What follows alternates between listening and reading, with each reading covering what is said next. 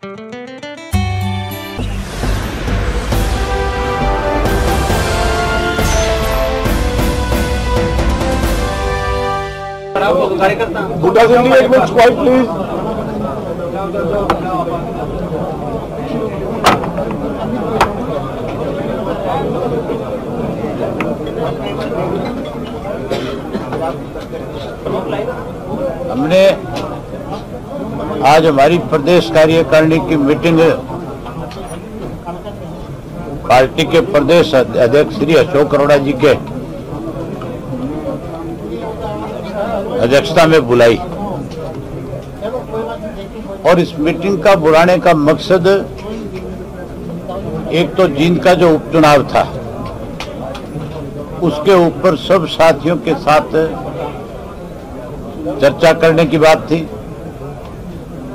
वहीं उसके साथ साथ विधानसभा का सत्र आ रहा है। और ये आखिरी बजट सत्र है। इसके बाद तो सौ फ़ीसदी अगला जो कोई विधानसभा का सत्र आएगा तो वो पार्लियामेंट के चुनाव के बाद या फिर विधानसभा के चुनाव के बाद ही नया सत्र आ सकेगा तो उसके लिए भी हमने अपने सारे पार्टी के जो पदाधिकारी हैं, उनको भी एक जिम्मेवारी लगाई, जहाँ विधायकों को इस बात के लिए उनसे चर्चा करी गई कि भाई आप अपने अपने इलाके की समस्या जो है उसके लिए ज़्यादा से ज़्यादा अपने क्वेश्चंस भेजो, प्रश्न लगाओ।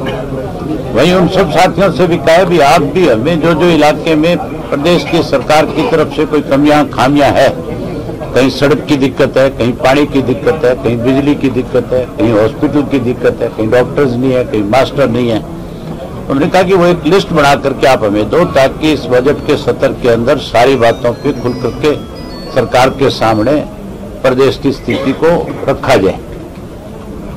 और वहीं जींद के उपचुनाव पे भी हमने सब साथियों का आभार भी व्यक्त किया कि उनकी जो जिम्मेवारी लगाई थी, उन्होंने अपनी तरफ़ से जिम्मेवारी निभाई, लेकिन उसके साथ साथ उनसे ये भी कहा कि वो एक बार फिर उन बूथ पे जाकर के उन लोगों से ज़रूर मिले।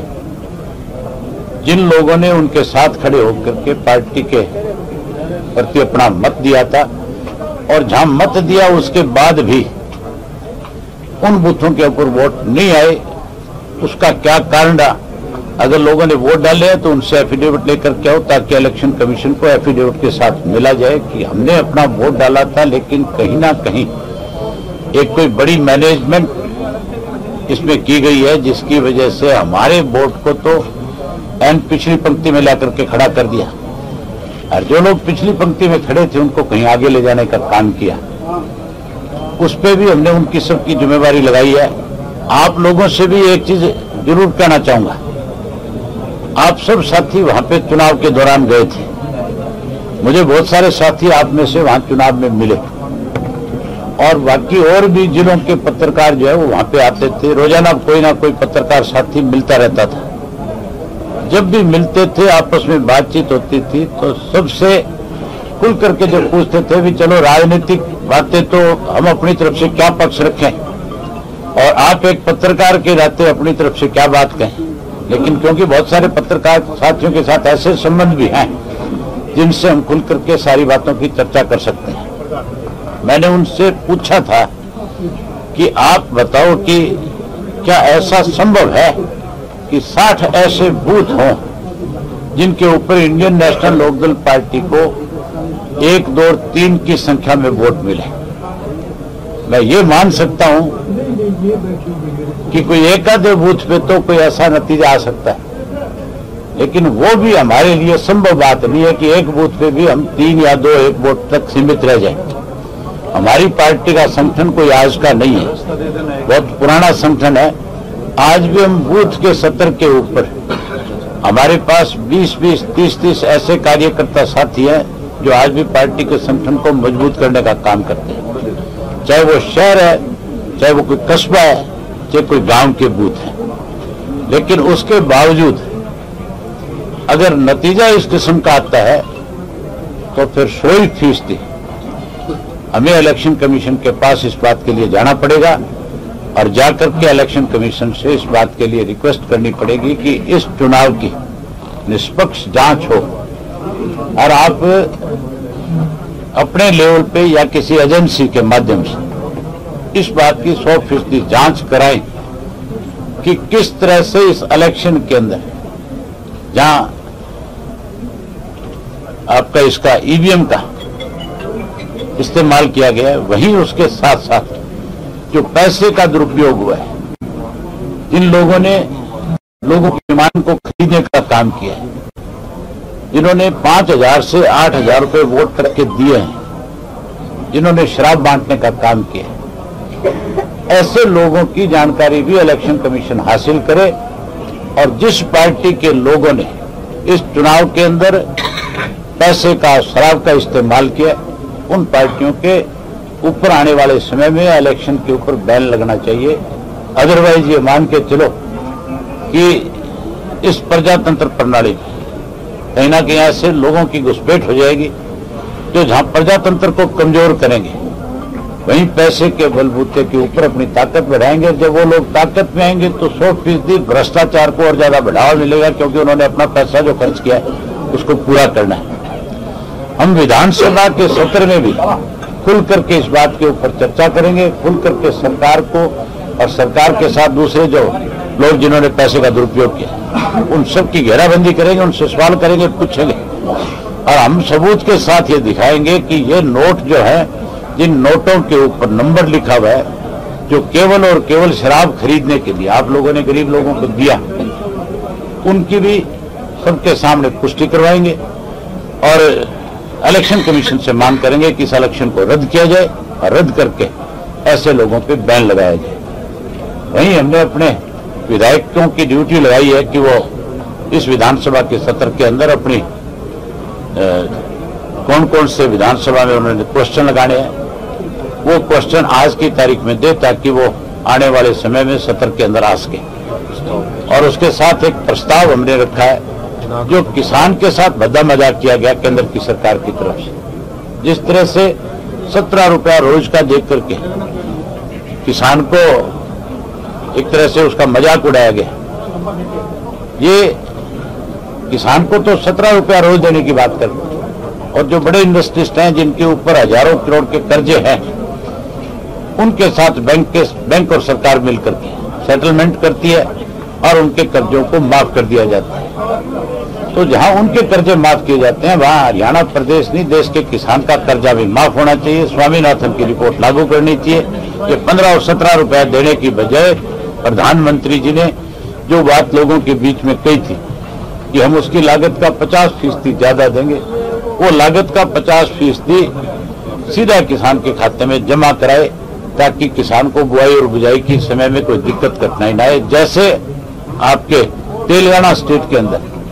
वहाँ की जो सरकार है, वहाँ का जो मुख्यमंत्री है, उन्होंने किसान को कैसे उसकी फ़सल की बिजाई में कोई दिक्कत ना आए, उसको खाद, बीज, तेल, साधन सब मिल जाए, उसके लिए उन्होंने चार हज़ार रुपया प्रति एकड़ के हिसाब से किसान के खाते में सीधा जमा कराते हैं। जबकि यहाँ पे तो एक कैप लगा दी कि छह हज़ार रुपया किसान को दिया जाएगा, और वो भी पाँच एकड़ से कम वाले किसान को। किसान पे तो पहले से सीलिंग है और सीलिंग के तहत कोई भी किसान बीस बाईस एकड़ से ज़्यादा ज़मीन रख नहीं सकता। अठारह एकड़। उससे ज़्यादा रख नहीं सकता। तो जब ऑलरेडी 18 एकड़ का कैप लगा हुआ है तो फिर सारे किसानों को क्यों नहीं इसमें शामिल किया गया? उसको सबको शामिल करना चाहिए। और ये छह हज़ार की बजाय इक्कीस हज़ार रुपया किसान को कम से कम पाँच एकड़ वाले को मिलना चाहिए ताकि उसकी बुआई और बिजाई में कोई दिक्कत ना आए। हमने ये प्रस्ताव पास रखा और सब लोगों ने इसको सर्वसम्मति से पास किया। हमने जहाँ सरकार की निंदा की वहाँ किसान के प्रति अपनी सहानुभूति जताने की बात नहीं उसकी कैसे भरपाई हो उसके लिए प्रस्ताव पास किया। एक आपने पहली बार ये भी कहा है जी कि कुछ टिकटें थी जिनके ऊपर जो है गलत तरीके से वो टिकटें बांटी गई पिछले चुनाव में। क्या एक बार आप बता पाएँगे कौन कौन सी टिकटें थी और किन लोगों ने वो किया था? ये हमारी अपनी पार्टी की अंदरूनी बातें हैं। हैं? आपने बोला हमारे कार्यकर्ताओं के बीच में हमने बताया अपने पार्टी के पदाधिकारियों को हम बताएँगे कि किस तरह से पार्टी को कमज़ोर करने के लिए कुछ लोगों ने किस किस तरह के षड्यंत्र रचने का काम किया न केवल मैंने ये बात कही कि टिकटें बेची गई हमने खुल करके एक बात और भी बताई थी आज कार्यकर्ताओं को किस तरह से पार्टी को कमज़ोर करने के लिए दुष्यंत को सांसद बनाने के लिए अजय सिंह ने पार्टी के साथ बड़ी गद्दारी करने का काम किया था अजय सिंह ने तो उनका बेटा सांसद बने इसके लिए, पार्टी को कमज़ोर करने के लिए अनेक राजनीतिक लोगों के साथ हाथ मिलाए और उनसे कहा था कि हम आपकी विधानसभा के चुनाव में मदद करेंगे। उदाहरण सीधा है, जयप्रकाश को ये कह करके कि तू इशारे में हमारी मदद कर दे। लोग तेरे विधानसभा के चुनाव में तेरी मदद करेंगे। और विधानसभा के चुनाव में अनेक लोगों को अजय सिंह ने फ़ोन करके कहा था। लोगों ने रिकॉर्डिंग कर रखी थी। चौटाला साहब ने हमने सबने रिकॉर्डिंग सुनी थी। कि किस तरह से उसने जयप्रकाश की मदद करी, जबकि हमारी पार्टी की तरफ़ से पार्टी के उम्मीदवार सीनियर नेता हमारे रामपाल माजरा जी। इसी तरह से नवीन जिंदल, जो हिसार के रहने वाले थे, कैसे उसका वोट कांग्रेस का लिया जा सके, उसके साथ भी सौदेबाजी की गई थी, जिसको कुरुक्षेत्र में हमारी पार्टी की तरफ़ से बलवीर सिंह सैनी को हमने खड़ा किया था। और उस सैनी की मदद करने की बजाय, अजय सिंह ने टेलीफोन करके उसकी नवीन जिंदल की मदद करी थी, उसका आसान उतार रहा था कि नवीन जिंदल में हिसार में उसके बेटे की मदद कर दे और वो उसको वहाँ पे उसके बदले में वोट दिलवा दे। मतलब सौ फ़ीसदी हम इस स्थिति में आकर के खड़े थे कि विधानसभा के चुनाव में हम सत्ता की तरफ़ बढ़ रहे थे, लोकसभा में हम सीटें जीतने जा रहे थे, क्योंकि उन हालात में लोकसभा में हम जीत करके आए थे तो विधानसभा में सत्ता में आते लेकिन क्योंकि पार्टी को कमज़ोर करने के लिए अजय सिंह कैसे उसका बेटा सांसद बने, उसके लिए। उसने सौदेबाजी करी, उसका खामियाजा फिर हमें विधानसभा के चुनाव में भुगतना पड़ा। ये बातें तब तक हमने, हमारे तक सीमित रखी थी, जब तक इस बात को लेकर के पार्टी के नेताओं में कोई हलचल ना हो, कोई दिक्कत ना हो। लेकिन जिन लोगों की उसने मुखालफत करी थी, वो लोग तुरंत हमारी पार्टी को छोड़ करके चले गए थे। उन्होंने सीधे और खुले आरोप लगाए थे और आज की तारीख में भी। ये लोग जो हमें छोड़ करके भागे हैं, ये सौ फ़ीसदी। इसी तरह के षड्यंत्र के शिकार हैं। ये भी आज कहीं ना कहीं सौदेबाजी करके बैठे हुए हैं कि कैसे इंडियन नेशनल लोकदल पार्टी को कमज़ोर किया जाए और दूसरे लोगों को लाभ पहुँचाया जाए, कैसे अपनी ताकत कहीं छोटी मोटी बढ़ा ली जाए। लेकिन सौ फ़ीसदी लोकसभा और विधानसभा के चुनाव में आने वाले समय में इन लोगों को लोग ज़मीन दिखा देंगे। जिलो चुनाव में सर आपका वोट आया चौंतीस सौ वोट लगभग आया है।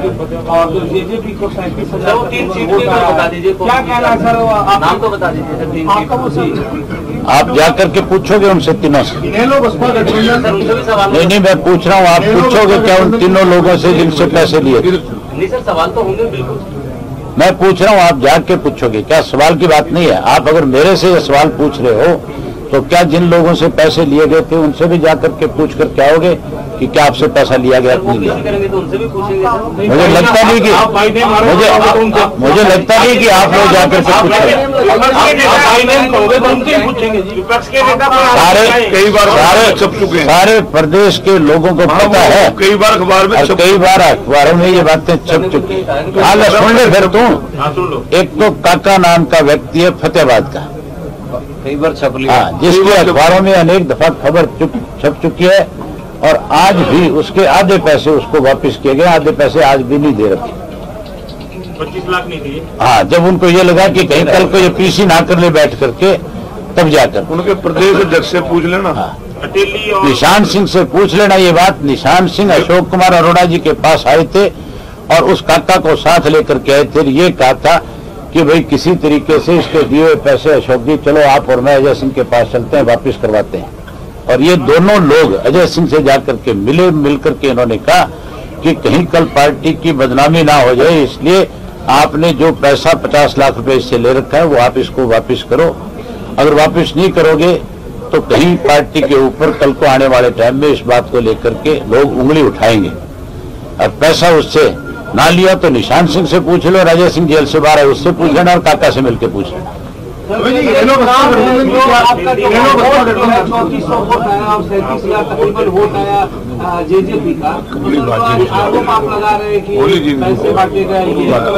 सारी सारी बातें मैंने आपसे खुल करके बता दी, सारी बात कह दी। आप लोग के लिए भोजन तैयार है।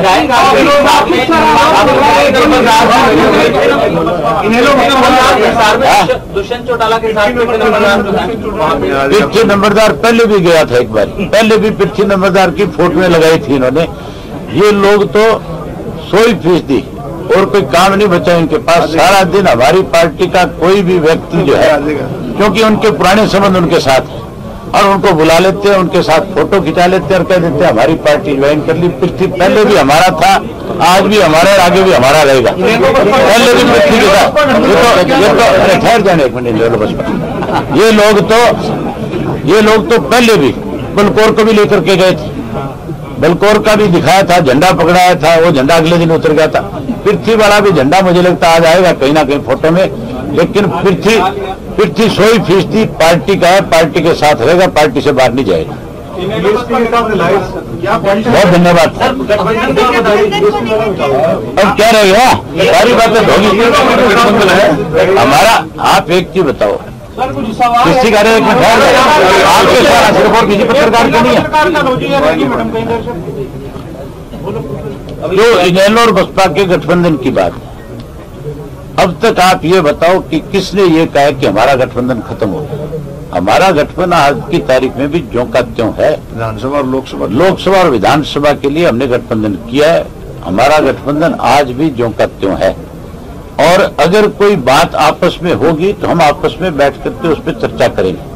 आज बहुत से अखबारों ने इस तरह के कयास लगा रखे हैं दिखा रहे हैं कि जैसे हमारा गठबंधन तो खत्म हो गया टूट गया। लेकिन कोई एक भी बीएसपी के नेता की स्टेटमेंट कोई ऐसी आई है कि हमारा गठबंधन नहीं है? सबकी स्टेटमेंट एक ही है कि मायावती जी ने ये कहा है कि इंडियन नेशनल लोकदल पार्टी जो आपस में बटी है वो एक हो जाए तो इससे और ज़्यादा गठबंधन मज़बूत होगा। आपकी बात हुई मायावती जी से सिलेक्शन के बाद? बिल्कुल बात हुई है मेरी। इस चर्चा हुई सारी बातें मैं आपसे कैसे शेयर कर ये बताओ ना।